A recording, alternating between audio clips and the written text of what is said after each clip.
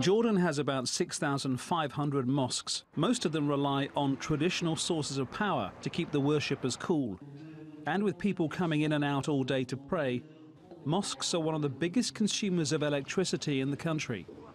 But in the last four years, about 1,000 of them have started running on solar power. As the government foots the bill for Jordan's many mosques, that could mean major savings for Amman. The electricity bill has declined in general, and the ministry has noticed this at mosques which run on solar energy. At some of these mosques, the bill was even down to zero. The Islamic Affairs Ministry and the Ministry of Energy fund about half of the costs of getting mosques to switch to solar energy. The rest comes from donations. If we receive enough funds, I think within two to three years, all mosques will switch to renewable energy.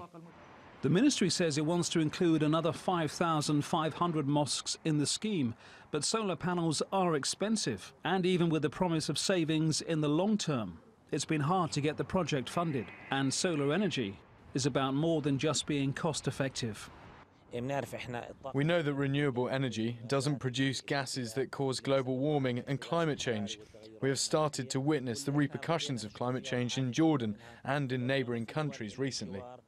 It seems like it would take some time to get all the mosques in Jordan onto the solar grid, but the country seems to be on its way to a more environmentally friendly future. Francis Collings, TRT World.